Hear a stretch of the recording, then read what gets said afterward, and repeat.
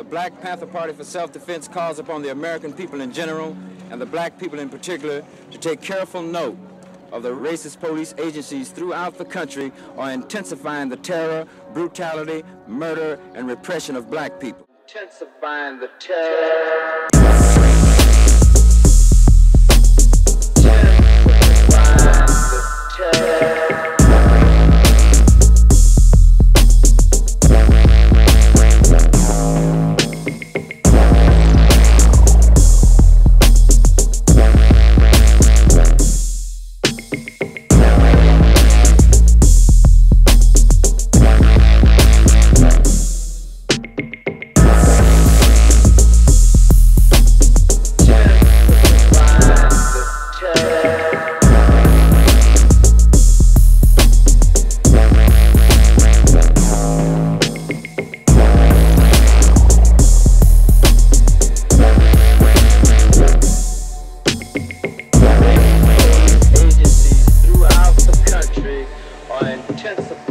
Agencies